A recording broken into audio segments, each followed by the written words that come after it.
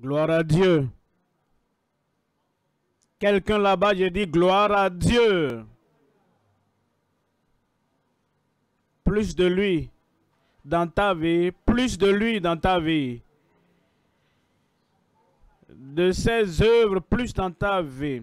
De l'eau de vie, plus dans ta vie.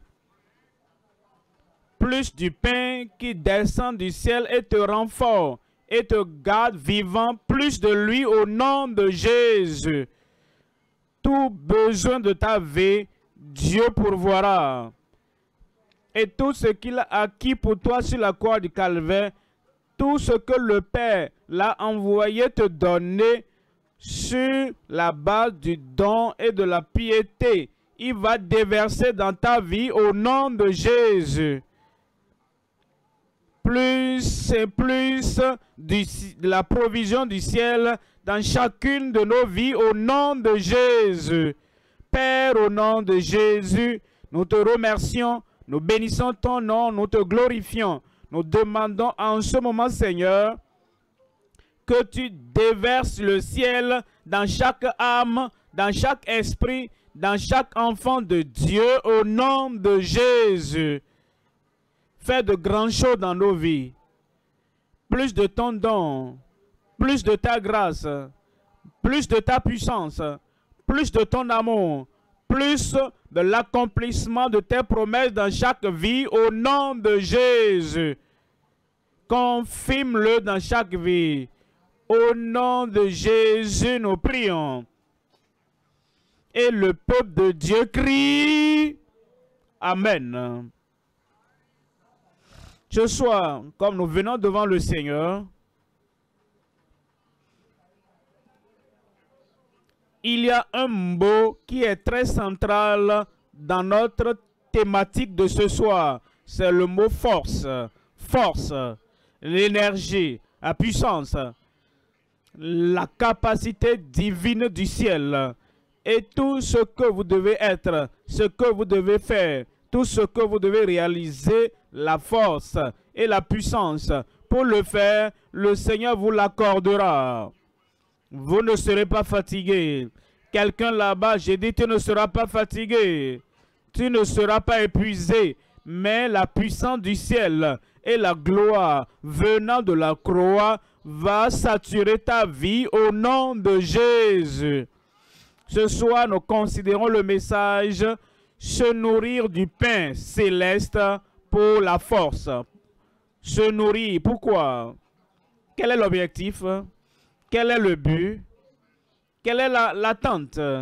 Pourquoi se nourrir? Pourquoi lire la Bible?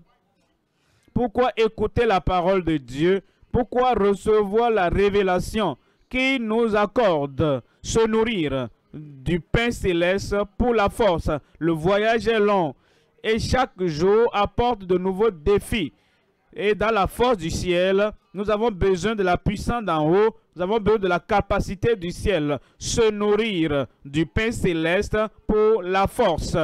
Et ce qui nous donne, comme vous nourrissez de, la, de façon naturelle, régulière, chaque fois, pour que vous puissiez être fort, pour être tout ce que vous devez être, pour pouvoir gravir toutes les montagnes, pour pouvoir marcher partout et faire toutes choses que vous devez faire. La même chose spirituellement. Nous devons nous nourrir pour avoir la force et nous se nourrir du pain céleste pour la force. Et Dieu va te nourrir jusqu'à ce que tu seras totalement rassasié et tu seras fortifié dans ta vie au nom de Jésus. Pour les enfants d'Israël, ils étaient en voyage. Ils ont quitté les ténèbres pour la gloire.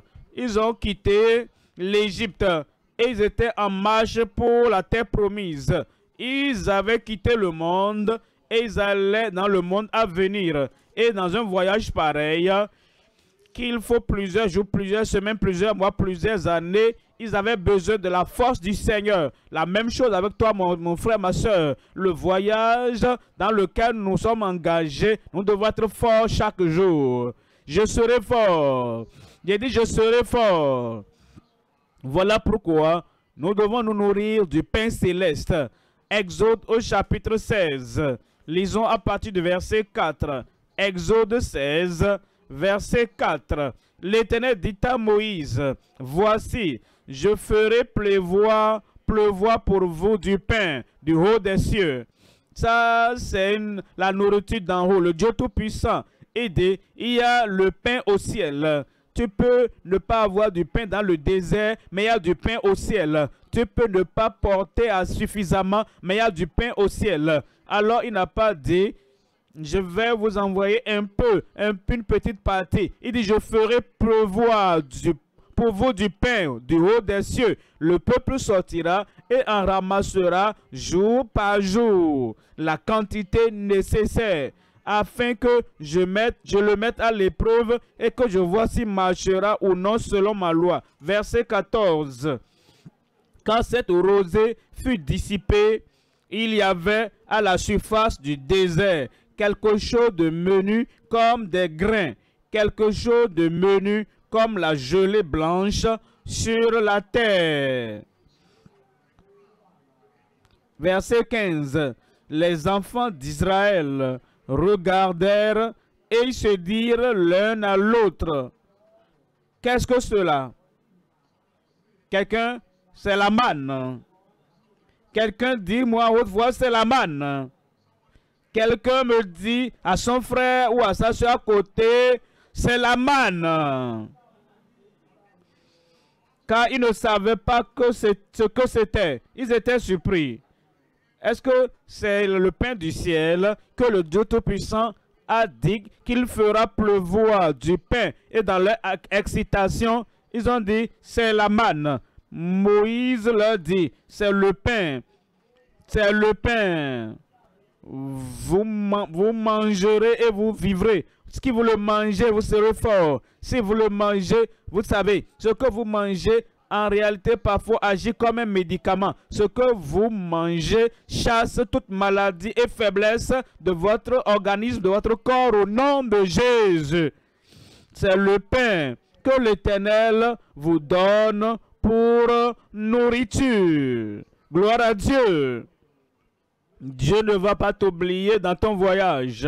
Pendant que tu avances d'ici pour la gloire, il ne t'abandonnera pas au nom de Jésus.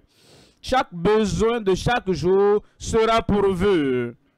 Chaque besoin de ta vie, de ta famille, de ta profession, de ton ministère, Dieu pourvoira au nom de Jésus. Tu mangeras et tu vivras. Tu mangeras et tu seras fort. Tu mangeras et tu auras la vision. Et la vision du ciel va te donner tellement de concentration et comme tu vois là où tu vas, la force te sera pourvue, tu couriras, tu vas marcher, tu seras actif dans le service du Seigneur au nom de Jésus. Il y a trois points à considérer dans le message de ce soir. Premièrement, la provision divine de la nourriture angélique aux âmes affamées. La provision divine de la nourriture angélique aux âmes affamées. Deuxième point, l'objectif divin pour la nourriture angélique devant les saints honnêtes. L'objectif, si vous mangez, vous mangez pour un but. Si vous buvez n'importe quel breuvage, du jus, vous en buvez pour un objectif. Si vous consommez les révélations ou recevez les révélations, le pain du ciel, cela devait être pour un objectif. C'est ce, que, ce que les anges mangent et ils servent le Seigneur sans être fatigués. Et le Seigneur a décidé que la nourriture angélique sera donnée aux pèlerins dans leur marche afin qu'ils atteignent la terre promise et qu'ils ne soient point épuisés et qu'ils ne soient point fatigués et qu'ils ne tombent pas en chemin au nom de Jésus. Alors, s'il y a un combat contre les Amalécites, s'il y a un combat contre le roi d'ordure, alors qui doivent combattre, s'il y a une guerre contre les Madianites, qui devaient combattre en chemin contre Balaam ou contre Balak, c'est la force de la nourriture qu'ils consomment qui leur permettront de combattre pour avoir la victoire et vaincre tout ennemi. Comme toi aussi, tu vas vaincre tout ennemi sur ton chemin au nom de Jésus. Troisième point, c'est la puissance divine à travers la nourriture angélique pour pour la récolte des chercheurs d'âmes. Ça, c'est moi qui cherche des âmes pour les moissonner dans le royaume. La puissance divine à travers la nourriture angélique pour la récolte des chercheurs d'âmes. La nourriture, l'autorité dont nous avons besoin, la capacité divine dont nous avons besoin afin que nous puissions donc rassembler des âmes dans le royaume. La puissance divine à travers la nourriture angélique pour la récolte des chercheurs d'âmes. Premier point, premier point, la provision divine de la nourriture angélique aux âmes affamées. Trois éléments à considérer. Premièrement, l'alimentation adéquate aux âmes affamées. L'alimentation adéquate aux âmes affamées. Et quand nous disons que nous sommes affamés, nous avons faim de beaucoup de choses spirituellement. Nous ne voulons pas que nos vies soient simplement une, vie moyenne, une vie ordinaire. On le pousse et on tire les pas là, on traîne les pas, on gère la vie. Ah, je ne sais pas si j'ai la force pour demain. Non, nous voulons être tout droit, nous voulons être fermes et nous voulons être forts. Et voilà pourquoi nous sommes affamés de sa puissance. Nous avons faim de sa force. Nous avons faim de la capacité divine dans nos vies. Et il fait de provisions adéquates. Il donne la provision adéquate aux âmes affamées. Deuxième élément, la satisfaction garantie aux chercheurs affamés. La satisfaction garantie aux chercheurs, aux chercheurs affamés. Il va te satisfaire. La mène, la là est fatiguée. Hein. Il va te satisfaire, satisfaire comme chercheur affamé au nom de Jésus.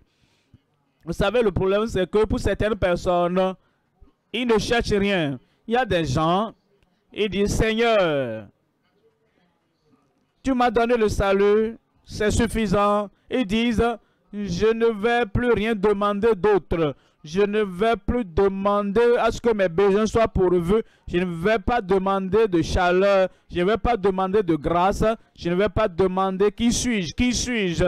Qu'est-ce que je vais encore demander? Tu m'as donné le salut. Alors, et je suis en train de m'efforcer d'aller de l'avant. Je ne vais rien demander d'autre. Le problème, c'est que il ne cherche pas, il ne cherche rien. Mais lorsque vous êtes un vrai chercheur et vous dites, Seigneur, voici ce que je veux.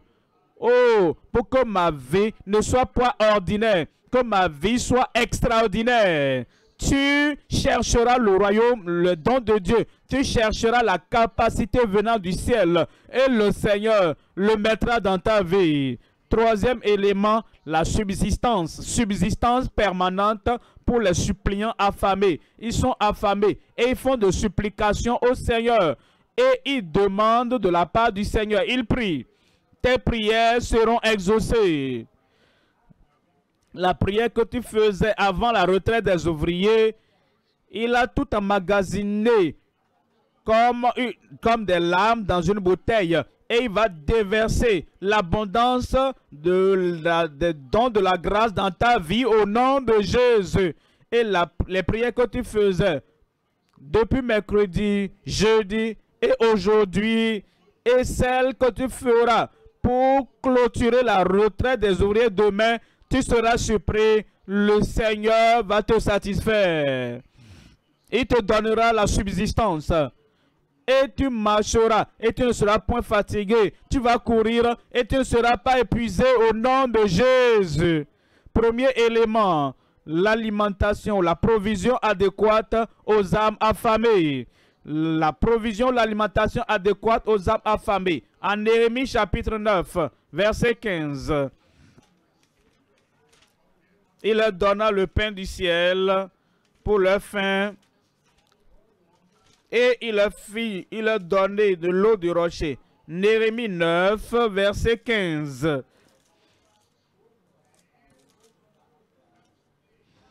Tu leur donnas du haut des cieux du pain quand ils avaient faim, et tu fis sortir de l'eau du rocher quand ils avaient soif. Et tu leur dis d'entrer en possession du pays. Alors, il leur donne du pain et de l'eau pour qu'ils avancent, pour qu'ils parviennent dans le pays. Tu parviendras dans ce pays. Et tu leur dis d'entrer en possession du pays que tu avais juré de leur donner. Tu ne retournes, tu n'utilises pas la force pour retourner en Égypte. Tu n'utilises pas la force que Dieu te donne avec le pain du ciel, avec l'eau du ciel, l'eau du rocher, tu n'utilises pas la force pour faire ce qui n'est pas essentiel, pour faire des choses qui ne contribueront pas, contribueront pas à ton progrès pour aller au ciel. C'est pour t'aider et pour te conduire au pays qu'il a à tes pères. Somme, Somme 34, verset 10. Somme 34. Psaume 34, 10. Verset 11, lui second. Les lionceaux éprouvent la disette et la faim. Mais ceux qui cherchent l'éternel, est-ce qu'ils sont là dans la maison ce soir? Est-ce qu'ils sont là ce soir? Est-ce que tu es là? Mais ceux qui cherchent l'éternel ne sont privés d'aucun bien. D'aucun bien. Ne dis jamais au Seigneur, oh Seigneur, oh je suis sauvé, c'est suffisant. Hein? Oh, j'ai mon nom écrit dans le livre de vie au ciel, c'est suffisant. Je ne cherche rien d'autre. Je ne cherche pas de bonnes choses. Tu peux donner ça aux autres. Pour moi, tout ce dont j'ai besoin, je l'ai eu. Tu ne comprends pas. Il y a des richesses inépuisables que Dieu a pourvues pour toi. Quand tu le dis, aider ceux qui, ceux qui cherchent l'éternel ne sont privés d'aucun bien tout bien te sera accordé au nom de Jésus. Voyons Jean au chapitre 6, 33. En Jean, chapitre 6, 33. Jean 6, 33. Car le pain de Dieu, c'est celui qui descend du ciel et qui donne la vie au monde. Il donne la vie, il donne la vie abondante et il donne la vie réussit. Il donne la vie progressive. Il donne la vie éternelle. Et comme tu viens à lui et tu dis, j'ai la vie, le salut, j'ai la vie éternelle, le salut, mais tu as dit je suis venu afin qu'ils aient la vie et qu'ils aient la vie, dites-moi, et qu'il l'ait en abondance. Voilà pourquoi il va ouvrir les écluses des cieux pour toi, même ce soir, et il va et déverser sa vie abondante sur ta vie au nom de Jésus. Deuxième élément maintenant, la satisfaction garantie aux chercheurs affamés. La satisfaction garantie aux chercheurs affamés. Tu dois chercher quelque chose de la part du Seigneur. Tu ne peux pas venir simplement ici à la retraite des ouvriers. Oh Seigneur, je suis là. J'essaie d'accomplir toute justice. Hein. Et comme tu nous as invités à la retraite des ouvriers, ah, je, je me suis inscrit. J'ai dit oui, je suis là. Tu dois chercher quelque chose. Tu dois vouloir quelque chose. Et cette chose que tu veux, demandez, l'on vous donnera. Cherchez vous trouverez. Frappez et l'on vous ouvrira. Car, maintenant, il parle de toi. Car quiconque demande, reçoit. Et, et, et quiconque cherche, trouve. Et l'on ouvre à celui qui frappe et cela lui sera ouvert. Ou des portes ouvertes des cieux pour toi. Des averses de bénédiction du ciel pour toi. Et toute bonne chose spirituelle, toute bonne chose physique, toute bonne chose pour ta famille, toute bonne chose pour le voyage qui t'attend, que tu cherches. Le Seigneur va te l'accorder, te satisfaire abondamment au nom de Jésus à Matthieu chapitre 5. Voyons le verset 6. Matthieu 5, verset 6. Matthieu 5, 6. Heureux ceux qui ont faim et soif de la justice, car, vous savez, des gens qui sont dans l'église depuis 10 ans, depuis 20 ans, depuis 30 ans, 40 ans et plus, et viennent régulièrement au culte Et si vous demandez à certains d'entre eux, qu'est-ce que tu veux recevoir du Seigneur aujourd'hui? Qu'est-ce que tu cherches aujourd'hui? Ils disent, oh, mais vous savez, j'ai laissé ça aux jeunes croyants. Hein. Je suis là maintenant pendant toutes ces nombreuses années-là. Qu'est-ce que je demande encore? Non, il n'y a pas de nouvelle vision. Il n'y a pas de nouvelles montagnes à gravir. Il n'y a pas de nouvelles activités et services à rendre au Seigneur. Il n'y a pas de nouveaux devoirs pour que tu t'engages. Ensuite, le devoir est plus grand que toi. Et pour cela, donc, tu cherches quelque chose. Comment peux-tu dire, j'ai épuisé toutes les provisions du ciel, je ne demande plus rien du tout? Non, tu dois, heureux, ceux qui ont faim et soif de la justice, car de la justice, la justice de tes années passées peut-être même plus grande que la justice d'aujourd'hui. En ce moment-là, tu te levais, en ce moment-là, tu te précipitais, tout ce que Dieu disait. Tu voulais l'accomplir immédiatement. Mais la justice d'aujourd'hui, elle est devenue une habitude. Je l'ai fait hier, et je n'ai même plus besoin de prier maintenant. Je dois même plus réfléchir maintenant. Je n'ai même plus demandé à Dieu pour, pour une foi divine. Je continue à agir. Ah, je l'ai fait il y a longtemps hein, et je sais comment le faire. Mais il demande la justice fraîche.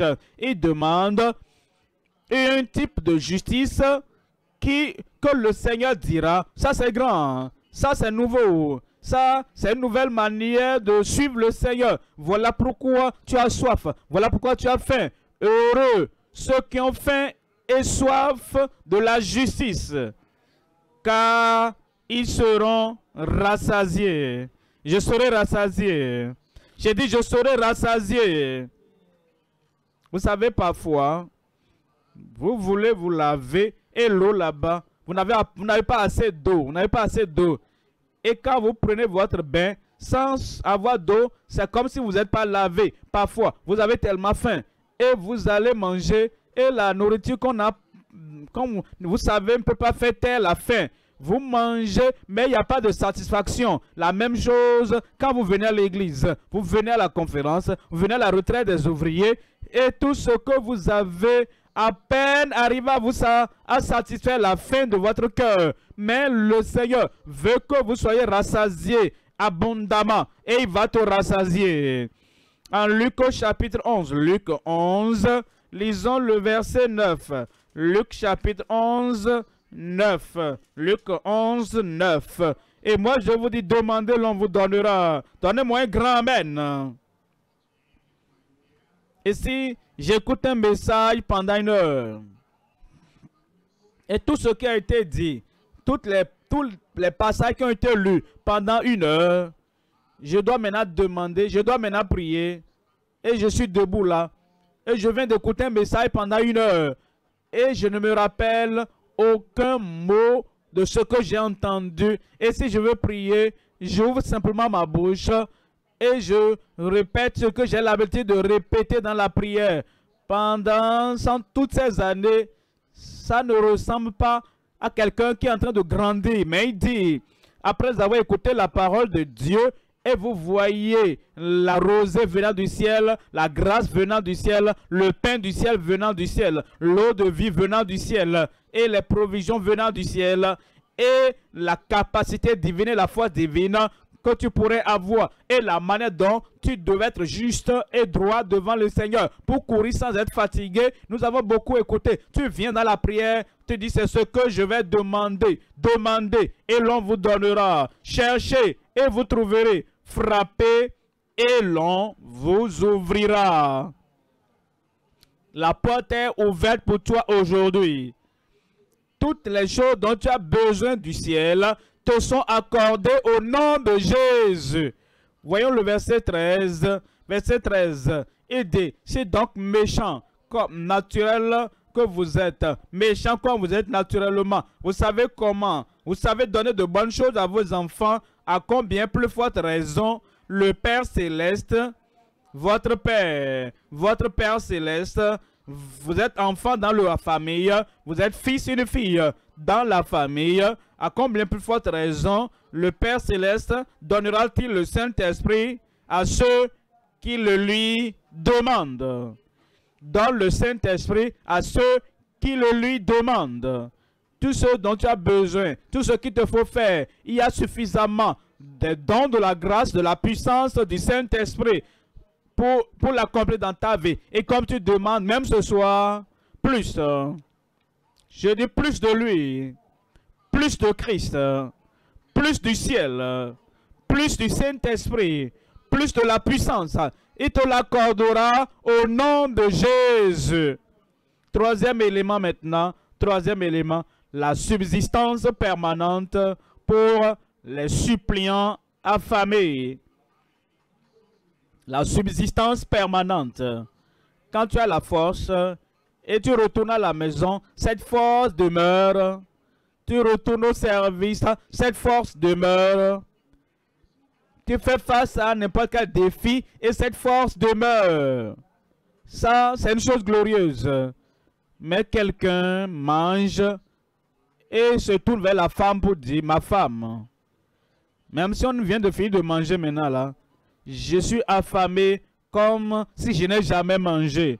Je suis aussi fatigué comme si je n'ai jamais mangé. Je suis aussi épuisé comme si je n'ai pas mangé. Quelque chose ne va pas quelque part. Mais vous savez, quand vous avez le pain de vie, le pain du ciel, le pain du ciel, nourris-moi à satiété et nourris-moi pour toujours. Et tu es fort et tu penses que tu peux gravir toute montagne maintenant et tu te dis que tu peux t'engager dans tout voyage et tu peux évangéliser avec ce que tu as maintenant, la sagesse, la révélation et la puissance et la capacité. Tu peux faire tout ce que tu veux, que le Seigneur t'appelle à faire. Ça, c'est se nourrir. Ça, c'est le type de subsistance que tu auras dans cette retraite des ouvriers au nom de Jésus. Tu l'as eu. Et la puissance sera établie dans ta vie au nom de Jésus. Voyons Exode 16. Verset Exode 16, verset 35. Les enfants d'Israël mangèrent la manne pendant 40 ans les enfants d'Israël mangèrent la manne pendant 40 ans. Ils ont mangé hier. Ils ont, ils ont espéré encore. Ils ont utilisé la force. La manne est encore là aujourd'hui. Ils ont mangé demain. La manne est encore là. La manne qui les soutenait pour le voyage de chaque jour. Le Seigneur a fait la provision pour toi. J'ai dit, le Seigneur a fait la provision pour toi. Tu ne vas pas manquer tu ne seras pas fatigué, tu ne seras pas épuisé. La manne que tu recevras du ciel va soutenir ta vie jusqu'à la fin du voyage au nom de Jésus. Et les enfants d'Israël mangeaient la manne pendant 40 ans jusqu'à leur arrivée dans un pays habité. Jusqu'à leur arrivée dans un pays habité. Ils mangeaient la manne jusqu'à leur arrivée aux frontières du pays de Canaan. Jusqu'à leur arrivée aux frontières du pays de Canaan. Est-ce que vous avez entendu parler de certaines personnes qui disent qu'elles sont chrétiennes?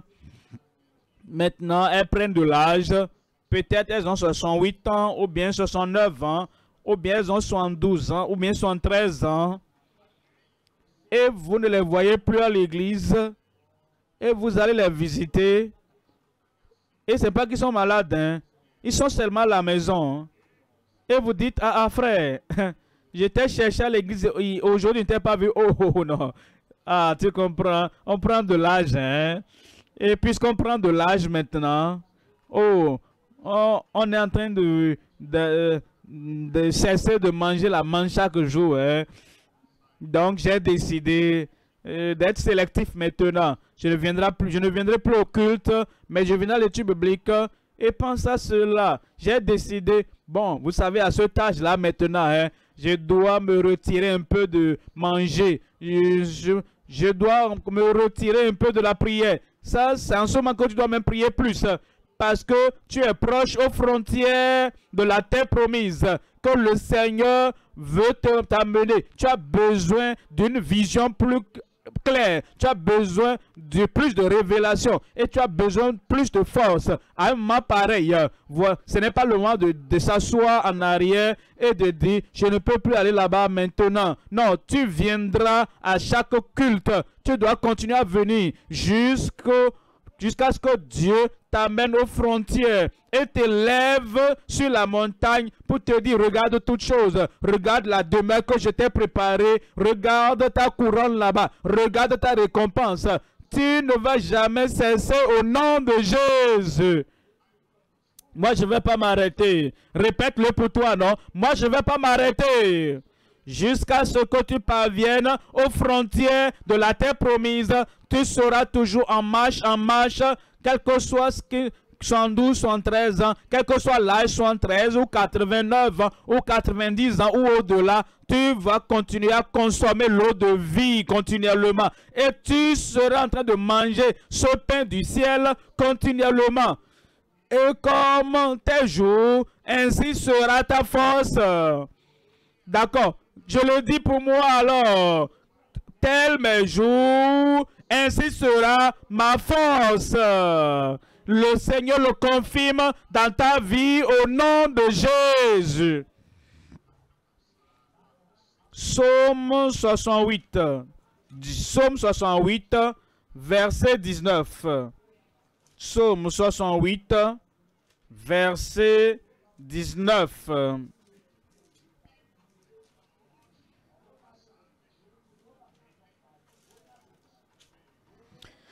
Verset 10.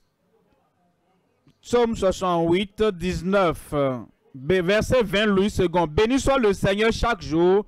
Quand nous accable, Dieu nous délivre. Dieu, dans ta vie, va te combler au nom de Jésus. Aucun jour ne te trouvera fatigué. Aucun jour ne te trouvera épuisé. Aucun jour ne te trouvera dans le manquement. Chaque jour, chaque jour, chaque jour, dans ta vie, dans ta vie, dans ta vie, chaque jour, il va te charger de bienfaits au nom de Jésus. Deuxième point maintenant, l'objectif divin pour la nourriture angélique devant les saints honnêtes. La nourriture quotidienne qui nous donne l'objectif divin pour la nourriture angélique devant les saints honnêtes. Ça veut dire quoi? Ils sont honnêtes avec eux-mêmes. Hein. Je ne peux pas vivre sans sa puissance. Sans lui, je ne peux rien faire. Les prières d'hier ne sont pas suffisantes et les provisions d'hier sont déjà utilisées dans le voyage d'hier. Si je dois avancer aussi fort que jamais, j'ai besoin de plus de lui aujourd'hui. J'ai besoin de plus du pain. J'ai besoin de plus de l'eau aujourd'hui. J'ai besoin de plus de sa grâce aujourd'hui. Ils sont honnêtes envers eux-mêmes.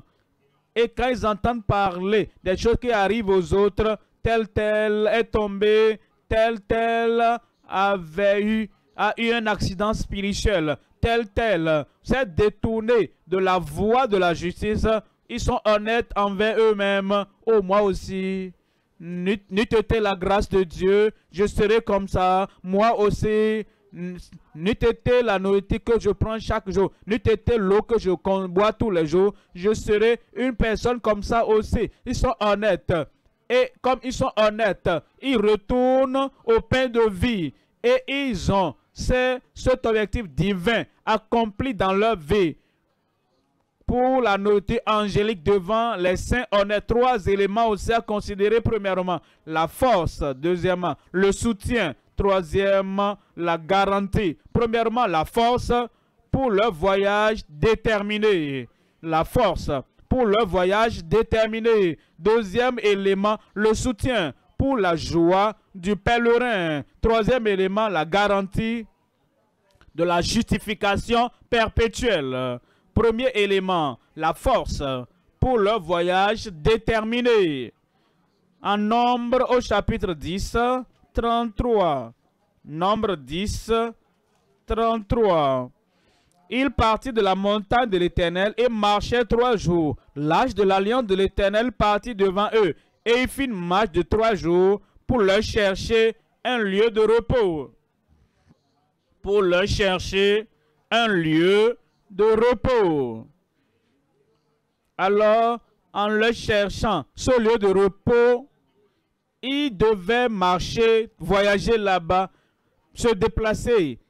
Et ils auraient besoin de la, du pain du ciel afin qu'ils soient forts pour le voyage, pour ce lieu de repos. Voyons, premier roi au chapitre 19. Un roi au chapitre 19, verset 5. 1 roi 19, verset 5. Parlant d'Élie ici. Il se coucha et s'endormit sous un genêt. Et voici un ange le toucha et le dit, lève-toi, mange. Ça, c'est le prophète de puissance, le prophète de feu, qui était fatigué. Jézabel, la femme d'Achab, avait envoyé un message et lui avait dit, à cette heure demain, je vais couper ta tête de dessus ton corps. Jézabel ne connaissait rien. Il y a des gens comme ça. Ils pensent qu'ils connaissent, mais ils ne connaissent rien. Et ils pensent qu'ils ont le dernier mot sur la vie d'un Élie. Mais ils sont dans l'erreur. Ils pensent qu'ils ont le dernier mot dans ta vie. Et ils ont, ils tort. Aucun Achab n'aura le dernier mot sur ta vie. Aucune Jézabel n'aura le dernier mot sur ta vie. Et même Élie lui-même, Élie, ce grand prophète de Dieu, lorsqu'il a entendu ce que Jézabel a dit, il a oublié temporairement que Jézabel n'était pas à la même place que lui. Parfois, vous savez, vous ne savez même pas dans quelle classe vous êtes. Peut-être que vous êtes déjà un prophète, un professeur, et vous êtes en haut placé là-bas. Il y a quelqu'un qui n'a même pas encore commencé le, CI et qui n'a même pas, qui n'a pas encore commencé l'école de, Dieu, qui n'a pas encore connu Dieu, qui n'a pas encore appris l'ABC, l'alphabet de la justice. Et maintenant, cet illettré spirituellement te menace. Toi qui es professeur en haut là-bas, et maintenant, tu oublies ta classe, tu oublies là où tu es et là où tu dois tenir, et tu cours de cet illettré, de cet individu. Et c'est ce qui est arrivé à Élie. Et il courait. Voici un homme qui prie et qu'il n'y aura pas de pluie dans tout le pays. Jézabel n'était pas dans, de la même classe que lui. C'est celui-là qui a prié et a dit, pourquoi clocher de, des deux côtés? Si Dieu est Dieu, servez-le. Si c'est Baal, servez Baal. Et il a fait tomber le feu du ciel. Jézabel n'était pas de cette classe avec Élie. Mais Élie a oublié la classe à laquelle il appartenait. Et maintenant il a dit, ah, je vais mourir. Et Dieu n'avait pas planifié la mort pour lui. Et Dieu ne planifie pas la mort pour toi aussi. Il devait aller à l'enlèvement. Les chars du ciel devaient venir le chercher. Est-ce que tu as vu quelqu'un qui vole dans l'avion et qui a qu'un seul passager? On ne le fait pas. Ils attendent jusqu'à ce qu'ils aient suffisamment de passagers pour remplir l'avion. Mais les chars sont venus du ciel seulement pour un seul passager. Oh, si c'est toi le seul saint sanctifié qui attend l'enlèvement, si tu es le seul, le seul passager, que tu iras l'enlèvement. Ainsi donc, ce char l'ont séparé entre lui et Élisée. Et il est parti dans un vent violent au ciel. Mais vous savez, avant qu'il n'arrive à ce lieu-là, il devait se nourrir de la nourriture angélique avant l'enlèvement, avant que cela ne t'arrive aussi, avant que tu ne reconnaisses la classe à laquelle tu appartiens. Tu dois manger cette nourriture à tout moment. Comme il s'est endormi sous le genet, l'ange, et voici un ange le toucha et lui dit, Lève-toi, mange. Verset 6. Il regarda, verset 6, et il y avait à son chevet un gâteau cuit sur des pierres chauffées et une cruche d'eau. L'ange a cuisiné pour lui. J'ai dit un ange a cuisiné pour lui. Il ne savait pas combien de fois il était précieux aux yeux de Dieu. Il pensait qu'il était ordinaire. Il pensait qu'il n'était pas digne de vivre. Et Dieu envoya un ange et qui a cuisiné, qui a fait le gâteau pour lui et une cruche d'eau. Il mangea et but, puis se recoucha. Verset 7. Verset 7. L'ange de l'Éternel vint une seconde fois, le toucha. Jusqu'à ce que tu sois rassasié, le pain va continuer à venir. À moins que tu sois fortifié, le pain va continuer à venir.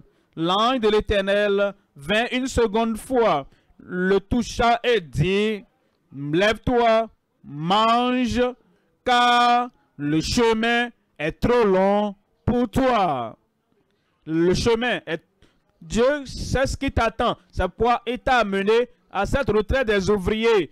Il sait que si tu n'as pas cette nourriture, tu ne seras pas capable de marcher tout au long du chemin. On nous dit dans le verset 8, verset 8, il se leva, mangea et but, et avec la force que lui donna cette nourriture, il marcha 40 jours et 40 nuits jusqu'à la montagne de Dieu à Horeb. Tu mangeras la parole de Dieu. Tu prendras la parole de Dieu et elle va te fortifier pour le voyage qui t'attend au nom de Jésus. Deuxième élément du deuxième point, le soutien pour la joie du pèlerin. Le soutien pour la joie du pèlerin. Vous savez, comme nous avançons dans le voyage, nous devons être heureux, joyeux, pas tristes et joyeux. Et comme nous avançons, nous devons être excités et avancer pour la montagne de Dieu et c'est la parole qui met cette joie dans notre vie. En Jérémie au chapitre 15, verset 16. Jérémie au chapitre 15, verset 16. 15, 16. J'ai recueilli tes paroles et je les ai dévorées. Tes paroles ont fait la joie et l'allégresse de mon cœur. Tes paroles ont fait la joie et l'allégresse de mon cœur. Je les ai pris de des pages de la Bible. Je les ai consommés et j'ai permis à mon esprit de méditer et de digérer et de...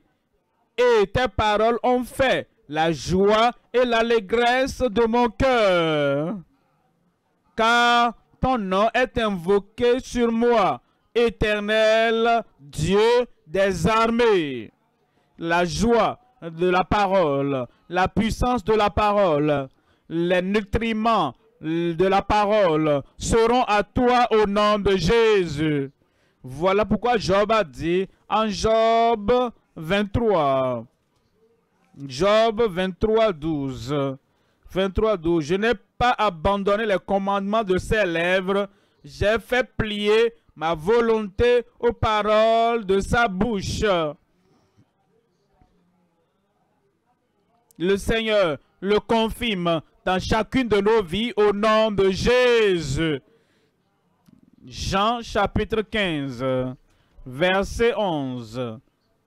Jean 15, 11. La parole. Jean 15, 11.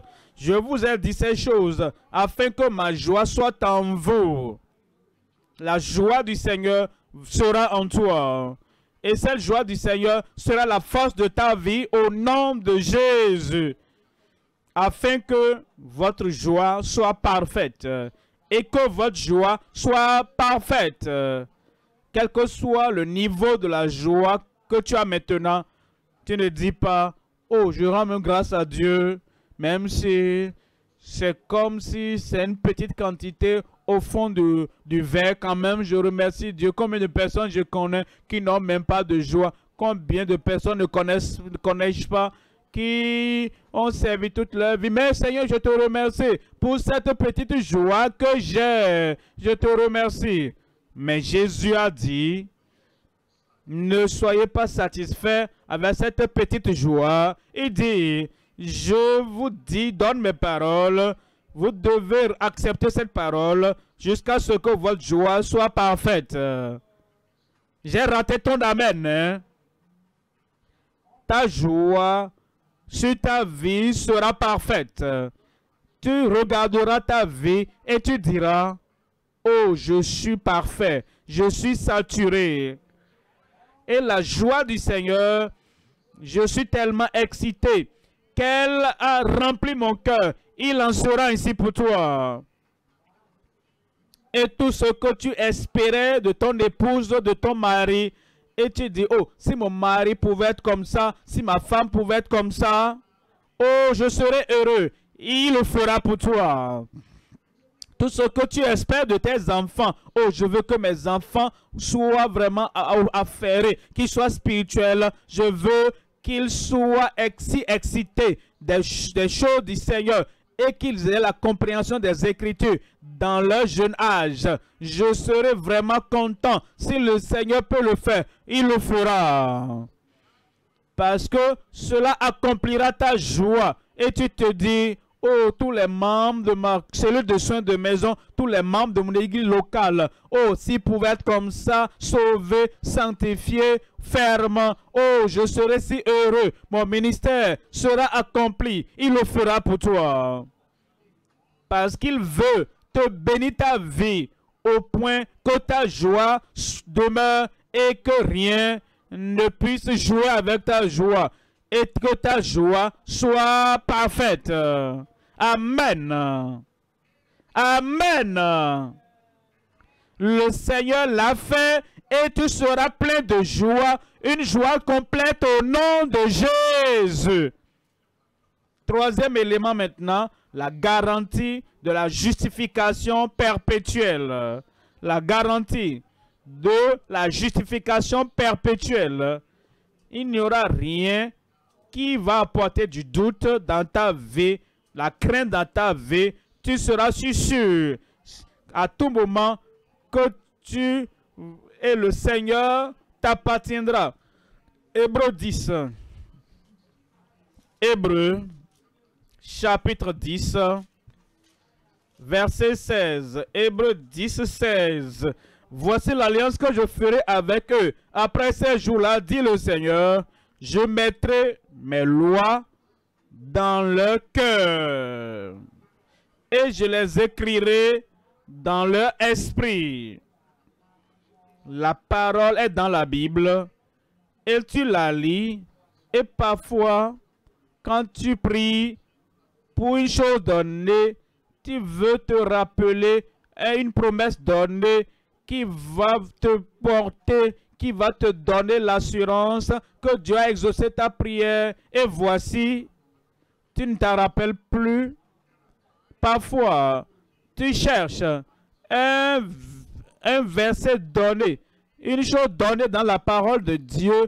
Tu te dis, mais je ne me rappelle pas exactement de la citation correcte.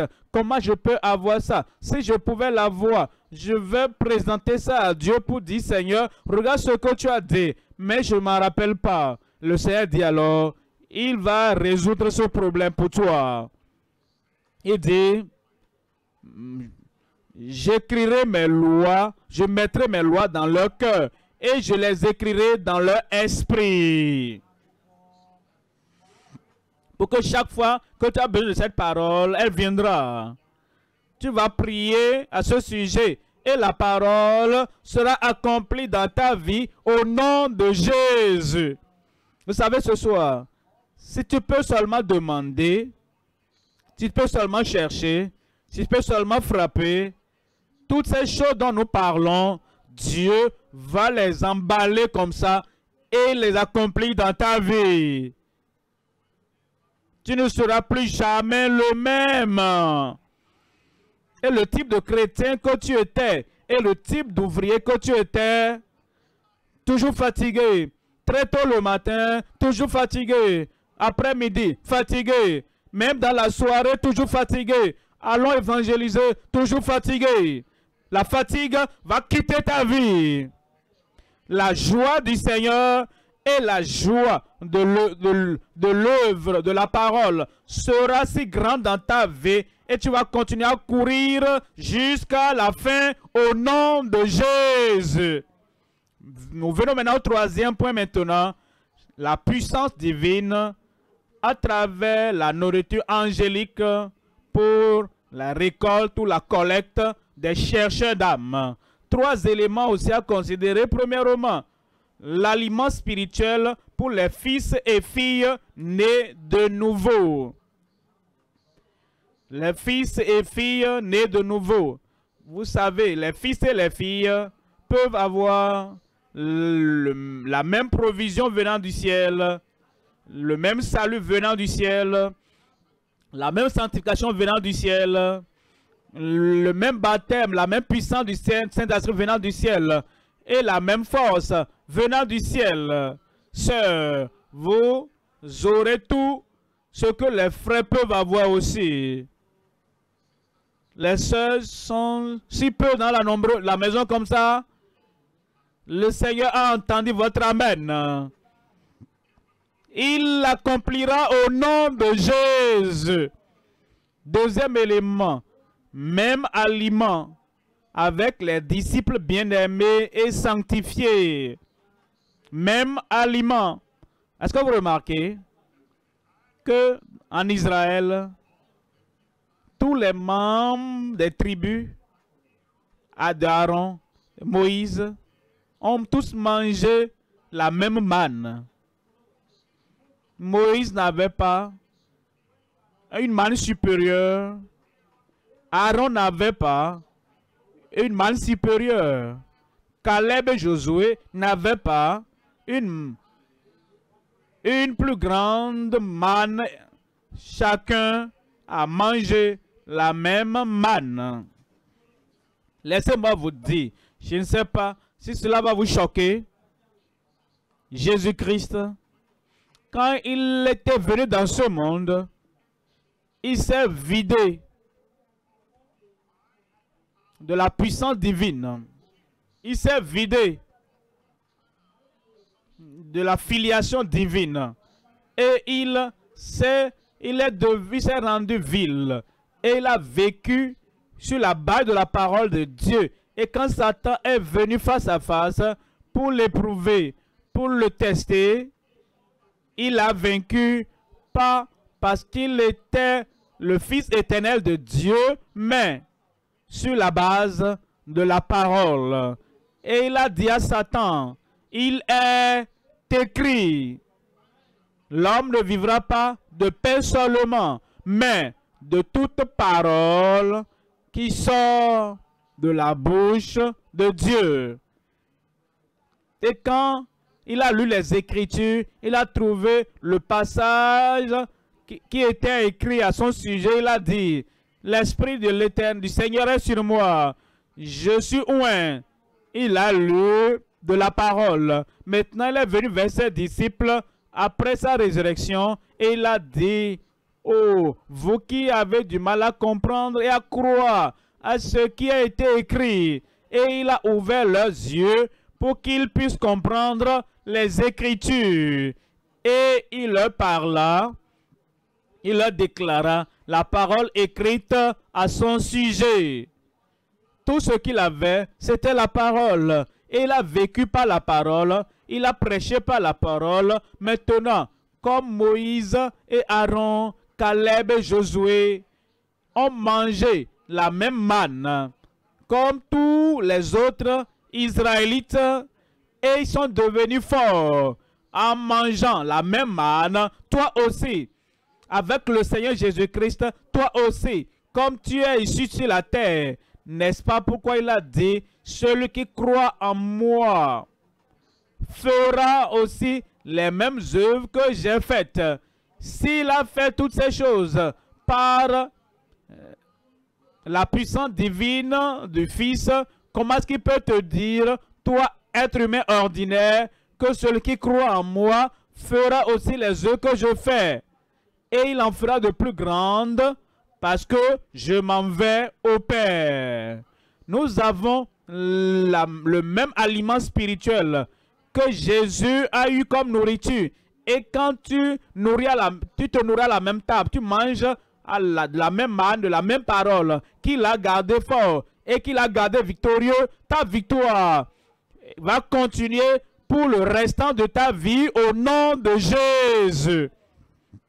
Troisième élément, c'est la nourriture solide pour les serviteurs baptisés dans la domination. Les serviteurs de Dieu, gagneurs d'âme, chercheurs d'âme, vous aurez la domination au nom de Jésus. Voyons le premier élément maintenant, l'aliment spirituel pour les fils et filles nés de nouveau. L'aliment spirituel pour chacun. Voyons 1 Corinthiens chapitre 10, verset 1er. Frères, je ne veux pas que vous ignoriez que nos pères ont tous été sous la nuée, tous nos pères, eux tous, ont tous été sous la nuée, qu'ils ont tous passé au travers de la mer. Verset 2. Verset 2. Qu'ils ont tous été baptisés en Moïse dans la nuée et dans la mer. Maintenant, verset 3 ici. Qu'ils ont tous mangé le même Moïse, Aaron, Caleb, Josué et tous, tous les Israélites, les hommes et les femmes, ils ont tous mangé le même aliment spirituel.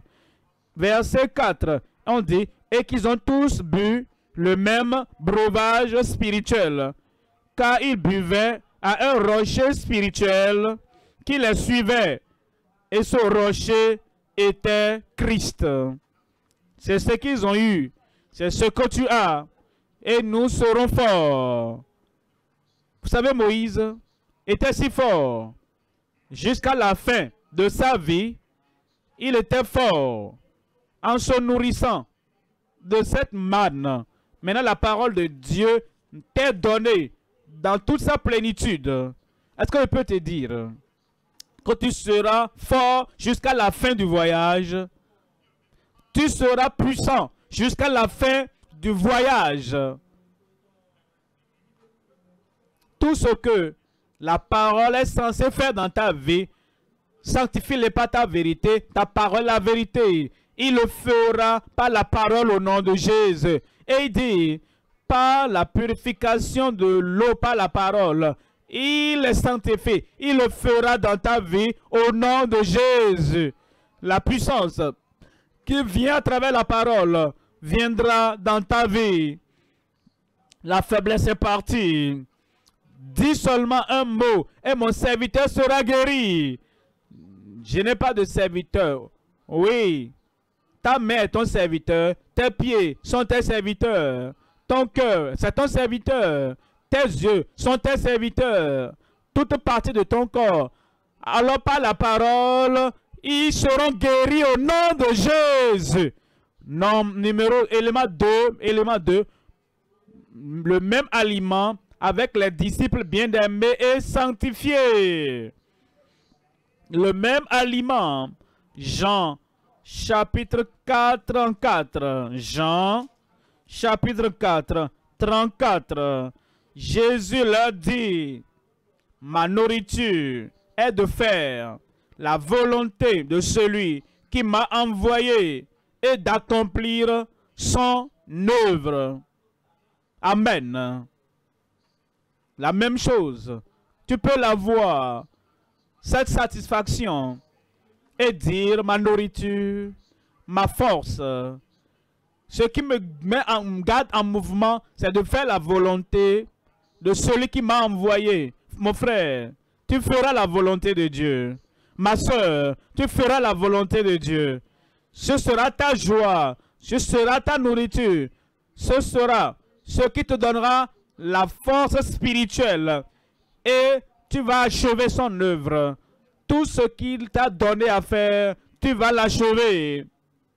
Amen.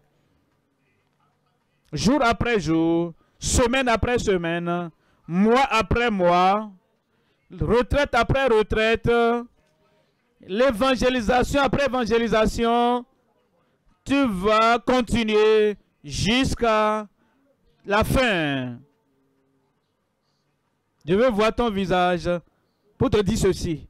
Toi, tu vas achever, tu vas bien terminer. Tu vas terminer fort. Tout ce qui pourrait t'empêcher, et tu vas dire, oh, si je savais, cela ne sera pas dans ta bouche.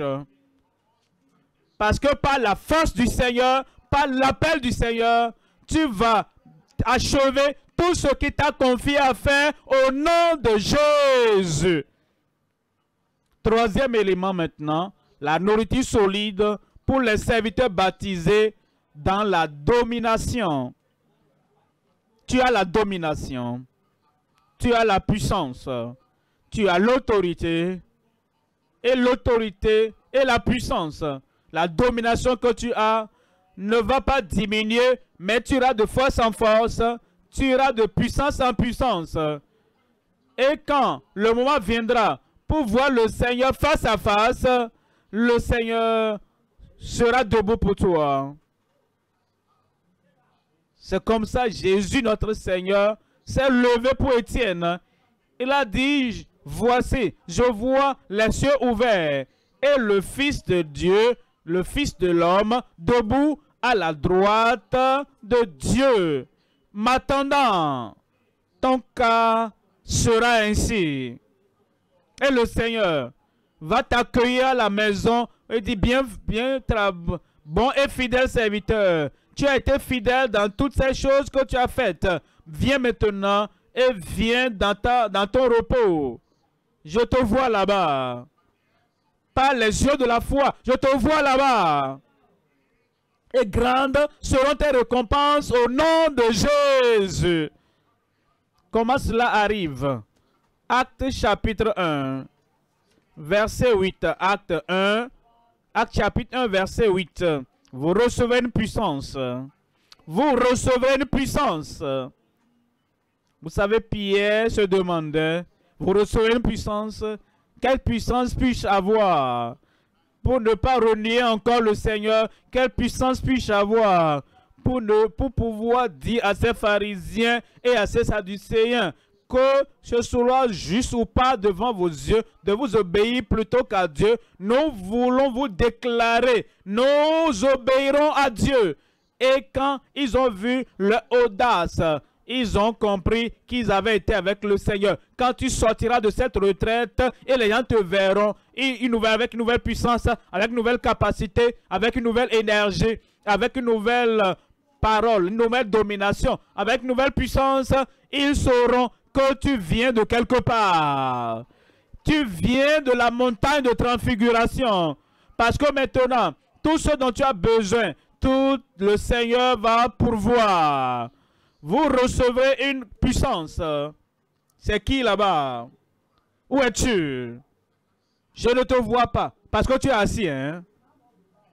Est-ce que tu vas recevoir la puissance, l'onction, la capacité? Vous recevez une puissance. Le Saint-Esprit survenant sur vous et vous serez mes témoins à, à Jérusalem, dans toute la Judée, dans la Samarie et jusqu'aux extrémités de la terre. Aucune porte ne sera fermée devant toi. Aucune montagne sera si haute que tu ne puisses gravir. Et aucune puissance, aucune puissance maléfique, aucune puissance de la religion ne pourra tenir devant toi. Jérusalem, tu feras des exploits là-bas. Dans toute la Judée, tu feras des exploits là-bas dans la Samarie, tu feras des exploits là-bas, des choses extraordinaires. Et jusqu'aux extrémités de la terre, tu feras, tu es maintenant un vainqueur. Tu es maintenant un victorieux. Que la puissance descende tout ce que tu as entendu dans le message aujourd'hui. Que la puissance vienne. Demande et tu recevras. Cherche et tu trouveras. Frappe à la porte et la porte est ouverte pour toi. tout ce que tu demanderas, tu, il te l'accordera maintenant. Ta vie sera plus élevée et la puissance du Seigneur sera accomplie dans ta vie comme tu te nourris du Père céleste pour la force. Pourquoi ne pas ouvrir la bouche et parler au Seigneur dans la prière?